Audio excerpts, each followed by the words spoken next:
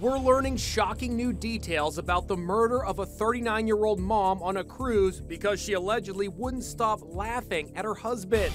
Kenneth and Kristy Manzanares were on a luxury cruise to Alaska on the Emerald Princess with their three teenage daughters when he allegedly flipped out. Passenger Charles Rowlen said he heard loud screams coming from the family's stateroom two decks below his. Terrible screaming. I mean, just, you knew it wasn't normal. He said his wife looked over the balcony and saw Kenneth Manzanares trying to jump overboard. She thought he was going to jump over the rail.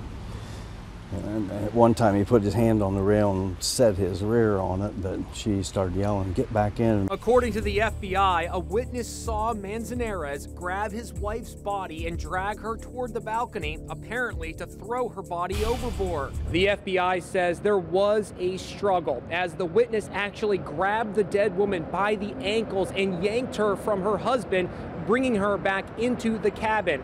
When he appeared in court for arraignment, Kenneth Manzanares sobbed throughout the hearing. The dead woman's daughter was reportedly heard saying, I knew my dad would do this. I knew he would do this. Hi, I'm Kristy Manzanares. Kristy was a realtor and interior designer in St. George, Utah. Her husband had a succession of jobs, including selling insurance and a stint as a bail bondsman. Bad Boy Bail Bonds of Utah is a family owned and operated bail company serving the state of Utah. He also worked at a Utah Youth Crisis Center, says his friend Randy Chesley. How would you describe him?